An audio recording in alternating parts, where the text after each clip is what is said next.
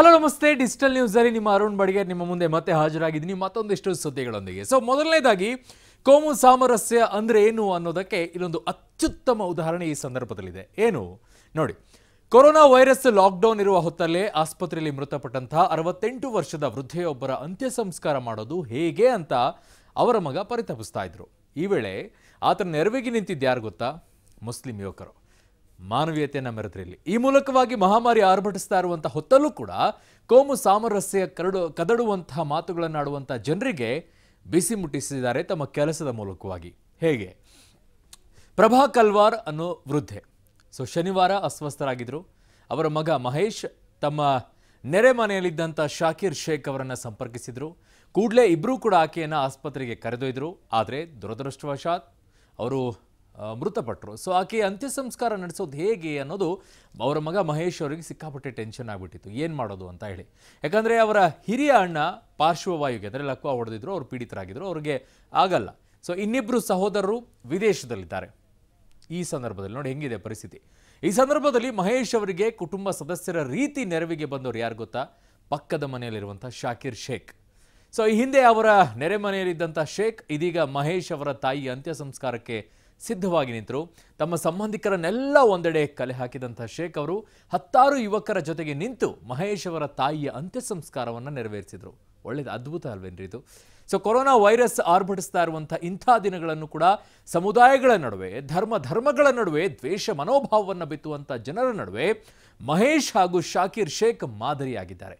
So Shakir Sheikh ಅವರ ಕರೆಗೆ ಓಗೊಟ್ಟು ಅಂತ್ಯ ಸಂಸ್ಕಾರ ನೆರವೇರಿಸೋಕೆ ಮುಂದಾದಂಥ ಯುವಕರು ಕೂಡ ಸಮಾಜಕ್ಕೆ ಮಾದರಿಯಾಗಿದ್ದಾರೆ. ನಿಮಗೆಲ್ಲ ಒಂದು ಹ್ಯಾಟ್ಸ್ ಆಫ್ ಸರ್ ಇಂಥ ಸಂದರ್ಭದಲ್ಲೂ ಕೂಡ ಧರ್ಮ ಈ ರೀತಿಯ ಗಲಾಟೆ ಗಿಲಾಟೆ ಎಲ್ಲ ಮರೆತು ಬಿಟ್ಟು ಒಂದಾಗ್ತೀರಾ? ಅದಕ್ಕೆ ಹೇಳೋದು ಆಯಾ ಭಾಗಗಳಲ್ಲಿ ಅವ್ರವ್ರ ಜೊತೆಗೆ ಎಲ್ಲರೂ ಕೂಡ ಚೆನ್ನಾಗೇ ಇರ್ತಾರೆ.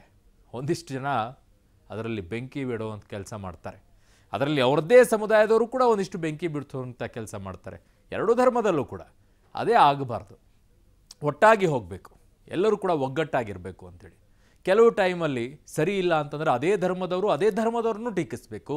ಈ ಧರ್ಮದವರು ಈ ಧರ್ಮದಲ್ಲಿರುವಂಥವ್ರು ಟೀಕಿಸಬೇಕು. ಅದು ನಡೆದಾಗ ಮಾತ್ರ ಎಲ್ಲರೂ ಕೂಡ ಸರಿಯಾಗಕ್ಕೆ ಸಾಧ್ಯ. ಇಲ್ಲಾಂದರೆ ಇವ್ರವ್ರಿಗೆ ಟೀಕಿಸೋದು, ಅವ್ರು ಇವ್ರಿಗೆ ಟೀಕಿಸೋದು, ಇದು ಸರಿಯಲ್ಲ. ನಿಮ್ಮ ಧರ್ಮದಲ್ಲೂ ಕೂಡ ಯಾರಾದರೂ ತಪ್ಪನ್ನು ಮಾಡ್ತಾ ಇದ್ದರೆ ಅವ್ರನ್ನ ಟೀಕಿಸೋಕೆ ಯಾವಾಗ ಆರಂಭ ಮಾಡ್ತಿರೋ, ಆಗ ಸರಿದಾರಿಗೆ ಬರೋಕ್ಕೆ ಸಾಧ್ಯ ಆಗುತ್ತೆ. ಇಲ್ಲಾಂದರೆ ಆಗಲ್ಲ. ಕೆಲವರು ಒಳ್ಳೆಯವರಾಗ್ತಾರೆ ಕೆಟ್ಟವ್ರು ಆಗ್ತಾರೆ, ಆದರೆ ಇಡೀ ಧರ್ಮಕ್ಕೇ ಕೆಟ್ಟ ಹೆಸರು ಬರೋಕ್ಕೆ ಶುರು ಆಗುತ್ತೆ.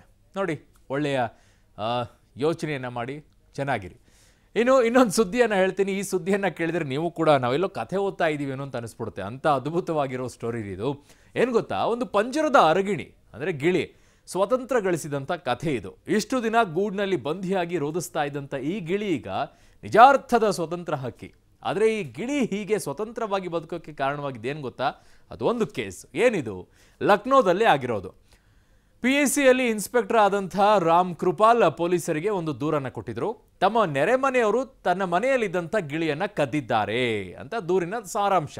ಸೊ, ಆದರೆ ಗಿಳಿ ಏನಾಗಿದೆ? ಪಕ್ಕದ ಮನೆಯವರ ಬಳಿ ಇತ್ತು, ನಿಜ. ಅವರು ಇದು ತಮ್ಮ ಗಿಳಿ ಅಂತ ವಾದಿಸೋಕೆ ಶುರು ಮಾಡಿದರು. ಹೀಗಾಗಿ ಈ ಪ್ರಕರಣ ಕ್ಷಣ ಕ್ಷಣಕ್ಕೂ ಕೂಡ ಕಗ್ಗಂಟಾಗಿ ಇಬ್ಬರೂ ನ್ಯಾಯ ಕೇಳಿ ಆಶಿಯಾನ ಪೊಲೀಸ್ ಠಾಣೆ ಮೆಟ್ಲೇರಿದ್ರು ಈ ದೂರು ಕೇಳಿ ಬಹುಶಃ ಪೊಲೀಸರಿಗೂ ಕೂಡ ಇದೊಂದು ವಿಚಿತ್ರವಾಗಿರೋ ಪ್ರಕರಣ ಇದೆಯಲ್ಲ? ಏನು ಮಾಡೋದು ಅಂತ? ನಾವು ಕೂಡ ಪುಸ್ತಕದಲ್ಲ ಅಂತ ಓದಿದ್ವಪ್ಪ. ಇಂಥ ನಿಜವಾಗಿ ನಡೆಯುತ್ತೆ ಅಂತ ಅನ್ಕೊಂಡಿರಲಿಲ್ಲ. ಹೀಗಾಗಿ ತನ್ನ ಮಾಲೀಕರನ್ನ ಹುಡುಕೋ ಜವಾಬ್ದಾರಿಯನ್ನ ಪೊಲೀಸರು ಸ್ವತಃ ಗಿಳಿ ಹೆಗ್ಲಿಗೆ ಹಾಕ್ಬಿಟ್ರು. ಅಯ್ಯೋ, ಕತೆ ಮುಗೀತಲ್ಲ ಅಲ್ಲಿಗೆ. ಸೊ ಪಂಜರದ ಬಾಗಿಲು ತೆರೆದಾಗ ಗಿಳಿ ಯಾರ ಬಳಿ ಹೋಗುತ್ತೋ ಅವರೇ ಮಾಲೀಕರು ಅನ್ನೋ ನಿರ್ಧಾರಕ್ಕೆ ಬರೋದಾಗಿ ಪೊಲೀಸರು ಹೇಳಿದರು. ಅದರಲ್ಲಿ ಎಲ್ಲರೂ ಕೂಡ ಒಪ್ಕೊಂಡಿದ್ರು. ಹಾಗಾಗಿ ಏನು ಮಾಡಿದ್ರು ಪೊಲೀಸರು? ಪಂಜರದ ಗೂಡನ್ನ ತೆಗೆದ್ರು, ಬಾಗಿಲನ್ನ ತೆರೆದ್ರು. ಆದರೆ ಅಲ್ಲಿಂದ ಪರಿಸ್ಥಿತಿ ಸಂಪೂರ್ಣ ಬದಲಾಗೋಗ್ಬಿಡ್ತು ಏನಾಯ್ತು ಗೊತ್ತಾ? ಬಹುಶಃ ಈ ಗಿಳಿ ಎಲ್ಲರ ಮೇಲಿಟ್ಟಿದ್ದ ನಂಬಿಕೆಯನ್ನು ಕಳೆದ್ಕೊಂಡ್ಬಿಟ್ಟಿತ್ತು ಅನ್ಸುತ್ತೆ. ಎಲ್ಲರೂ ಹಂಗೆ ಅಂತ ಹೇಳಿ. ಸೊ ಹೀಗಾಗಿ ಸ್ವತಂತ್ರದ ಕನಸು ಕಾಣ್ತಾ ಇದ್ದಂಥ ಈ ಗಿಳಿ ಪಂಜರದ ಬಾಗಿಲು ತೆರಿತಾ ಇದ್ದಂತೆಯೇ ಗರಿ ಬಿಚ್ಚಿ ಹಾರೋಗ್ಬಿಡ್ತು. ಅಯ್ಯಯ್ಯೋ ಪುಸ್ತಕದೆಲ್ಲ ಓದಿದ್ವಿ ರೀ ಇಂಥದ್ದು. ಇಂಥ ಪರೀಕ್ಷೆಯನ್ನು ಕೂಡ ಆ ಪಕ್ಷಿಗಳಲ್ಲಿ ಮಾಡ್ತಾರೆ ಅಂತಂದರೆ ಏನು ವಿಚಿತ್ರ ಅರ್ಥ ಆಗಲಿಲ್ಲಪ್ಪ. ಪಂಜರದ ಬಾಗ್ಲ ತೆಗೆದ್ಬಿಟ್ರೆ ಆರೋಗ್ಲಾರ್ದು ಇನ್ನೆಲ್ಲರೂ ಹೋಗುತ್ತೆ ಅದು? ನಾಯಿ ಬೆಕ್ಕು ಆದರೆ ಅದು ಯಾರು ಓನರೋ ಅವ್ರ ಹತ್ರ ಹೋಗುತ್ತಪ್ಪ. ಗಿಳಿ ಎಲ್ರಿ ಹೋಗ್ಬೇಕು? ಸಾಕಿದ್ದಾದರೆ ಓಕೆ, ಆಚೆ ಇದ್ರೆ. ಪಂಜರದಲ್ಲಿಟ್ಟರೆ ಅದಕ್ಕೆ ಏನಾಗುತ್ತೆ? ತಿನ್ನಕ್ಕಾಗೆ ಇರುತ್ತೆ. ಅಥವಾ ಅದಕ್ಕೆ ಕಲಿಸ್ಕೊಟ್ಟಿದ್ರೆ ಇರುತ್ತೆ.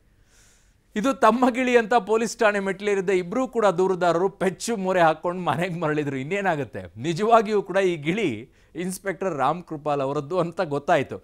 ಸೊ, ಇತ್ತ ರೆಕ್ಕೆ ಬಿಚ್ಚಿ ಆಕಾಶ ಸೇರಿದಂಥ ಗಿಳಿ ಹೊಸ ಜೀವನವನ್ನು ಕಂಡುಕೊಂಡಿದೆ. ಬಹುಶಃ ಇಷ್ಟು ದಿನ ಈ ಗಿಳಿ ಇದೇ ಅವಕಾಶಕ್ಕೆ ಕಾಯ್ತಾ ಇತ್ತೇನೋ. ಪಾಪ ಈಗ ತನ್ನ ಖುಷಿಯ ಜೀವನ ಈ ಗಿಳಿಗೆ ಮರಳಿದೆ. ಏನಾದರೂ ಅದು ತನ್ನ ಜೀವನದ ಸಡಗರವನ್ನು ಸ್ವಚ್ಛಂದವಾಗಿ ಅನುಭವಿಸ್ಲಿ ಸ್ವತಂತ್ರವಾಗಿರಲಿ ಅಂತ ಇರಲಪ್ಪ. ಹಾಗಂತೂ ನೋಡ್ಬಿಟ್ಟು ನಕ್ಕು ನಕ್ಕು ಸಾಕಾಗೋಯ್ತು ಆ ಸುದ್ದಿಯನ್ನು. ಇನ್ನು ಲಾಕ್ಡೌನ್ ಸಡಿಲಿಸಿ ಮದ್ಯ ಮಾರಾಟಕ್ಕೆ ಅವಕಾಶ ನೀಡಿ ಗುರುವಾರಕ್ಕೆ ನಾಲ್ಕು ದಿನ ಕಳೆದಿದೆ ಅಂದರೆ ಇವತ್ತಿಗೆ. ರಾಜ್ಯದಲ್ಲಿ ನಾಲ್ಕನೇ ದಿನವೂ ಕೂಡ ಮದ್ಯ ಮಾರಾಟ ಜೋರಾಗಿದೆ. ಗುರುವಾರ ನೂರ ಅರವತ್ತೈದು ಕೋಟಿ ರೂಪಾಯಿ ಇದೆ. ಸೊ, ಮದ್ಯ ಮಾರಾಟ ಆಗಿದೆ. ಅಬಕಾರಿ ಇಲಾಖೆ ಅದರ ಬಗ್ಗೆ ಮಾಹಿತಿ ಕೊಟ್ಟಿದೆ. ಆದರೆ ಬುಧವಾರಕ್ಕೆ ಹೋಲಿಸಿದರೆ ನಿನ್ನೆದಕ್ಕೆ ಹೋಲಿಸಿದರೆ ಇವತ್ತು ಸ್ವಲ್ಪ ಮಾರಾಟ ಕಡಿಮೆ. ಯಾಕೆ? ಸ್ವಲ್ಪ ರೇಟ್ ಜಾಸ್ತಿ ಆಗಿದೆ. ಸೊ ಲಾಕ್ಡೌನ್ ಸಡಲಿಕ್ಕೆ ಮೊದಲ ದಿನ ಒಟ್ಟು ಆರುನೂರ ಮೂವತ್ತೆಂಟು ಕೋಟಿ ಇಲ್ಲಿಯವರೆಗೂ ಮಾರಾಟವಾಗಿರೋದು ಆರುನೂರ ಮೂವತ್ತೆಂಟು ನಾಲ್ಕೇ ದಿನಕ್ಕೆ. ನೋಡಿ ಹೆಂಗಿದೆ. ರಾಜ್ಯ ಅಬಕಾರಿ ಇಲಾಖೆ ಬಂಪರ್ ಲಾಭದ ನಿರೀಕ್ಷೆಯಲ್ಲಿದೆ. ಶೇಕಡ ಹದಿನೇಳರಷ್ಟು ಮದ್ಯದ ಮೇಲಿನ ತೆರಿಗೆಯನ್ನು ಸರ್ಕಾರ ಏರಿಸಿದ್ರೂ ಕೂಡ ಮದ್ಯ ಮಾರಾಟದಲ್ಲಿ ಯಾವುದೇ ರೀತಿಯ ಹಿನ್ನಡೆಯಾಗಿಲ್ಲ. ಆದರೆ ಬುಧವಾರಕ್ಕೆ ಮದ್ಯ ಮಾರಾಟಕ್ಕೆ ಹೋಲಿಸಿದರೆ ಮಾತ್ರ ಅರವತ್ತೈದು ಕೋಟಿ ರೂಪಾಯಿ ಮಾರಾಟ ಕಡಿಮೆ ಆಗಿದೆ. ಲಾಕ್ಡೌನ್ನಲ್ಲಿ ಮದ್ಯ ಮಾರಾಟಕ್ಕೆ ಅವಕಾಶ ನೀಡಿದ ಮೊದಲ ದಿನ ನಲವತ್ತೈದು ಕೋಟಿ ಇತ್ತು. ಅದಾದ ನಂತರ ಎರಡನೇ ದಿನ ನೂರ ತೊಂಬತ್ತೇಳು ಕೋಟಿ ಆಯಿತು. ಮೂರನೇ ದಿನ ಇನ್ನೂರ ಮೂವತ್ತೊಂದು ಕೋಟಿ ಆಯಿತು. ಈಗ ನೂರ ಅರವತ್ತೈದು ಕೋಟಿ ಆಗಿದೆ. ಹ್ಮ್, ಸರ್ಕಾರ ಎಲ್ಲ ಏರಿಸಿದೆ, ಅಂದ್ರೂ ಕೂಡ ಖರೀದಿ ಮಾಡ್ತಾ ಇದ್ದಾರೆ ನೋಡಿ ಲಾಕ್ಡೌನ್ ಟೈಮಲ್ಲಿ ದುಡ್ಡಿಲ್ಲ ದುಡ್ಡಿಲ್ಲ ಅಂತ ಇದ್ರು. ಸಿಕ್ಕಾಪಟ್ಟೆ ದುಡ್ಡಿದೆ. ಓಕೆ ಇದಿಷ್ಟು ಕಥೆ, ಎಣ್ಣೆದು. ಮುಂದಿನ ಸುದ್ದಿಗೆ ಹೋಗೋದಾದರೆ ಲಾಕ್ಡೌನ್ ಜಾರಿಯಿಂದಾಗಿ ಹುಬ್ಬಳ್ಳಿಯ ಮರಾಠಗಲ್ಲಿಯ ಕೋಳಿಪೇಟೆಯ ಪರಿಚಯದವರೊಬ್ಬರ ಮನೆಯಲ್ಲಿ ಆಶ್ರಯ ಪಡೆದಂತ ರಾಜಸ್ಥಾನದ ಇಬ್ಬರು ಅಪ್ರಾಪ್ತ ವಯಸ್ಸಿನ ಮಕ್ಕಳು ಒಂದೂವರೆ ತಿಂಗಳ ಬಳಿಕ ಜಿಲ್ಲಾಧಿಕಾರಿ ದೀಪಾ ಚೋಳನ್ ಅವರ ನೆರವಿನಿಂದ ತಮ್ಮ ಹೆತ್ತವರ ಮಡಿಲನ್ನು ಸೇರಿದ್ದಾರೆ ರಾಜಸ್ಥಾನಕ್ಕೆ. ಇದೊಂದು ಅದ್ಭುತ ಸ್ಟೋರಿ ಕಳೆದ ಸುಮಾರು ಐವತ್ತು ದಿನಗಳ ಹಿಂದೆ ತಾಲ್ಸಾರಾಮ್ ದಂಪತಿ ರಾಜಸ್ಥಾನದ ಸಿರೋಹಿ ಜಿಲ್ಲೆಯ ತಮ್ಮ ಸ್ವಗ್ರಾಮ ಮೆಮಂಡ್ವಾರಕ್ಕೆ ಅನಿವಾರ್ಯ ಕಾರಣಗಳಿಂದಾಗಿ ತೆರಳಿದರು.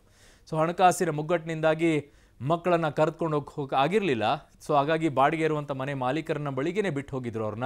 ಸೊ, ಕೊರೋನಾ ನಿಯಂತ್ರಣಕ್ಕಾಗಿ ಏಕಾಏಕಿ ಲಾಕ್ಡೌನ್ ಜಾರಿಯಾದ ಪರಿಣಾಮವಾಗಿ ಮರಳಿ ಹುಬ್ಬಳ್ಳಿಗೆ ಬರೋಕೆ ತಾಲ್ಸಾರಮ್ಮ ದಂಪತಿಗೆ ಸಾಧ್ಯ ಆಗಿರಲಿಲ್ಲ. ಸೊ, ಹತ್ತು ವರ್ಷದ ಬಾಲಕಿ ರೋಮುಕುಮಾರಿ ಮತ್ತು ಎಂಟು ವರ್ಷದ ಪ್ರೇಸು ಕುಮಾರಿ. ಸೊ ರಾಜಸ್ಥಾನದವರು ತಮ್ಮ ಪಾಲಕರನ್ನ ಸೇರೋಕೆ ಒದಾಡ್ತಾ ಇದ್ರು. ಸೊ ಈ ಕುರಿತಾಗಿ ಖಾಸಗಿ ವ್ಯಕ್ತಿಯೊಬ್ಬರು ಏನು ಮಾಡಿದ್ರು, ಟ್ವಿಟ್ ಮಾಡಿದ್ದನ್ನ ಹುಬ್ಳಿ ಶಹರ ತಹಶೀಲ್ದಾರ್ ಒಬ್ಬರು ನೋಡಿದ್ರು, ಶಶಿಧರ್ ಮಡ್ಯಾಳ್ ಅವರು. ಈ ವಿಷಯವನ್ನು ಜಿಲ್ಲಾಧಿಕಾರಿಗಳ ಗಮನಕ್ಕೆ ತಂದರು. ಯಾರೋ ಡಿ ಸಿ ಆಗಿದ್ರೆ ಹೋಗ್ಲಿ ಬಿಡಿ, ಅವರ ಅಪ್ಪ, ಅಮ್ಮ ಬಂದು ಕರ್ಕೊಂಡು ಹೋಗ್ತಾರೆ ಅಂತೇಳಿ. ಕೆಲ ಡಿ ಸಿಗಳು ಎಂಥ ಮಾನವೀಯತೆಯನ್ನು ಮೆರೀತಾರೆ ನೋಡಿ. ತಮ್ಮ ಸಿಬ್ಬಂದಿ ಮೂಲಕ ಖುದ್ದು ಪರಿಶೀಲಿಸಿ ವರದಿಯನ್ನು ತರಿಸ್ಕೊಂಡ್ರು. ಮಕ್ಕಳನ್ನು ತಮ್ಮ ಬಳಿ ಇರಿಸ್ಕೊಂಡಿದ್ದಂಥ ರಮೇಶ್ ರಾವಲ್ ಅವರು ತಾವೇ ಸ್ವತಃ ಕಾರಿನ ಮೂಲಕ ಮಕ್ಕಳನ್ನು ರಾಜಸ್ಥಾನಕ್ಕೆ ಬಿಟ್ಟು ಬರ್ತೀನಿ ಅಂತ ಹೇಳಿದರು. ಹಾಗಾಗಿ ತಹಶೀಲ್ದಾರ್ ಅವರು ಕೂಡ ಮುತುವರ್ಜಿ ವಹಿಸಿ ಅಗತ್ಯ ಪರವಾನಗಿ ಏರ್ಪಾಡನ್ನು ಮಾಡಿದ್ರು. ಮಾರ್ಗ ಮಧ್ಯೆ ಆಹಾರ, ಸೂರತ್ನಲ್ಲಿ ವಸತಿ ವ್ಯವಸ್ಥೆ ಕಲ್ಪಿಸೋಕೆ ಅಲ್ಲಿನ ಅಧಿಕಾರಿಗಳಿಗೆ ಸೂಚಿಸಿದರು ಜಿ, ಡಿ ಸಿಗಳು. ಸೊ, ಗುರುವಾರ ಬೆಳಗ್ಗೆ ತಮ್ಮ ಕಚೇರಿ, ಇವತ್ತು ಬೆಳಗ್ಗೆ ಆವರಣದಲ್ಲಿ ಮಕ್ಕಳಿಗೆ ಶುಭ ಹಾರೈಸಿ ಬೀಳ್ಕೊಟ್ಟರು ಜಿಲ್ಲಾಧಿಕಾರಿ ದೀಪಾ ಚೋಳನ್ ಅವರು ಸೊ, ಮಕ್ಕಳ ಶಿಕ್ಷಣದ ಬಗ್ಗೆ ಮಾಹಿತಿಯನ್ನು ಪಡೆದು ಉತ್ತಮ ವಿದ್ಯಾಭ್ಯಾಸ ಮಾಡೋಕ್ಕೆ ತಿಳಿ ಹೇಳಿದರು. ಮಕ್ಕಳನ್ನು ಸುರಕ್ಷಿತವಾಗಿ ಅವರ ಪಾಲಕರಿಗೆ ಒಪ್ಪಿಸಿ ತಹಶೀಲ್ದಾರ್ ಅವರಿಗೆ ಮಾಹಿತಿಯನ್ನು ಕೊಡಿ ಮುಟ್ಟಿಸಿದ ನಂತರ ಅಂತ ಹೇಳಿದ್ದಾರೆ. ಓಕೆ ಒಳ್ಳೆಯ ಕೆಲಸವನ್ನು ಮಾಡಿದರೆ ಮೇಡಮ್ ನಿಮ್ಗೆ ಒಳ್ಳೆಯದಾಗಲಿ ಇನ್ನು ಕೊರೋನಾ ಹರಡುವಿಕೆಯನ್ನು ನಿಯಂತ್ರಣ ಮಾಡೋಕ್ಕೆ ಗುಂಪು ಸೇರಬಾರದು ಅನ್ನೋ ನಿಯಮ ಇದೆ. ಈ ಕಾರಣಕ್ಕಾಗಿ ಮಸೀದಿಯಲ್ಲಿ ನಮಾಜ್ ಮಾಡಬೇಡಿ ಅಂತ ಹೇಳಿದ್ದಾರೆ. ಭಾಳಷ್ಟು ಜಿಲ್ಲೆಗಳಲ್ಲಿ ಆಗಿದೆ ಲಾಠಿನೂ ಕೊಟ್ಟಿದ್ದಾರೆ. ಆದರೆ ಧ್ವನಿವರ್ಧಕ ಶಬ್ದ ಕಡಿಮೆ ಮಾಡಿ ಅಂತ ಗ್ರಾಮದ ಜನರು ಮನವಿ ಮಾಡಿದರು. ಇದರಿಂದ ಕೆರಳಿದಂಥ ಮುಸ್ಲಿಂ ಸಮುದಾಯದ ಇಪ್ಪತ್ತೆರಡು ಜನ ಹಲ್ಲೆ ನಡೆಸಿರುವಂಥ ಘಟನೆ ನೆಲಮಂಗಲ ಗ್ರಾಮಾಂತರ ಪೊಲೀಸ್ ಠಾಣಾ ವ್ಯಾಪ್ತಿಯಲ್ಲಿ ನಡೆದಿದೆ. ನೋಡಿ ಕೆಲವು ಕಡೆಗೆ ಆಮ್, ಮಾನವೀಯತೆಯನ್ನು ಮರಿತಾರೆ. ಇನ್ನೊಂದು ಕಡೆಗೆ ಹೇಳಿದ್ದೇ ತಪ್ಪು ಅನ್ನೋ ರೀತಿಯಲ್ಲಿ ವರ್ತಿಸ್ತಾರೆ. ತಾಲೂಕಿನ ಆನಂದನಗರದಲ್ಲಿ ಹಿಂದೂ ಹಾಗೂ ಮುಸ್ಲಿಮರು ಒಗ್ಗಟ್ಟಿನಿಂದ ಇದ್ದಾರೆ. ಆದರೆ ಈ ಗ್ರಾಮದಲ್ಲಿ ಬುಧವಾರ ರಾತ್ರಿ ಎಂಟು ಗಂಟೆ ಸುಮಾರಿಗೆ ಮುಸ್ಲಿಂ ಸಮುದಾಯದವರು ಮಸೀದಿಯಲ್ಲಿ ನಮಾಜ್ ಮಾಡ್ತಾ ಇದ್ರು. ಮೋಹನ್ ಹಾಗೂ ಸಿದ್ಧಗಂಗಾಯ ಅನ್ನೋರು ನಮಾಜ್ ಮಾಡಬೇಡಿ, ಶಬ್ದ ಕಡಿಮೆ ಮಾಡಿ ಅಂತ ಹೇಳಿದರು. ಈ ಕಾರಣಕ್ಕೆ ಅವರ ಮೇಲೆ ಹಲ್ಲೆ ಮಾಡಲಾಗಿದೆ. ಕೇಳು ಹೋದಂಥ ಹನುಮಂತರಾಜು ಮೋಹನ್ ಭಾಗ್ಯಮ್ಮ ಅನ್ನೋರಿಗೆಲ್ಲ ಹಲ್ಲೆ ಮಾಡಿಬಿಟ್ಟಿದ್ದಾರಂತೆ. ಈ ಬಗ್ಗೆ ಇಪ್ಪತ್ತೆರಡು ಮುಸ್ಲಿಂ ವ್ಯಕ್ತಿಗಳ ವಿರುದ್ಧ ಪ್ರಕರಣ ಕೂಡ ದಾಖಲಾಗಿದೆ. ಪೊಲೀಸರು ತನಿಖೆಯನ್ನು ಆರಂಭಿಸಿದಾರಂತೆ. ಪ್ರಕರಣದ ಸೂಕ್ತ ತನಿಖೆ ಮಾಡಿ ಕಾನೂನು ರೀತಿ ಕ್ರಮ ಕೈಗೊಳ್ಳುತ್ತೀವಿ ಅಂತ ಹೇಳ್ತಾ ಇದ್ದಾರೆ. ನೋಡೋಣ ಏನಾಗುತ್ತೆ ಕತೆ ಅಂಥೇಳಿ ನೋಡಿ, ಹೇಳೋದೇ ತಪ್ಪು. ಈ ರೀತಿ ಮಾಡಬೇಡ್ರಪ್ಪ ಅಂಥೇಳಿ. ಹ್ಞೂ ಏನು ಮಾಡ್ತೀರಿ? ಎಲ್ಲಿಗೆ ಹೋಗಿ ತಲುಪುತ್ತೆ ನೋಡಿ. ಓಕೆ, ನಾನು ಕ್ಯಾಮ್ರಾಮನ್ ಹೇಮಂತ್ ಜೊತೆಗೆ ನಾನು ಅರುಣ್ ಬಡಿಗೆ ಹೋಗ್ಬಿಟ್ಟು ಬರ್ತೀನಿ. ನಾಳೆ ಮತ್ತೊಂದಿಷ್ಟು ಸುದ್ದಿಗಳೊಂದಿಗೆ ನಿಮ್ಮ ಮುಂದೆ ಹಾಜರಾಗ್ತೀನಿ. Thank you so much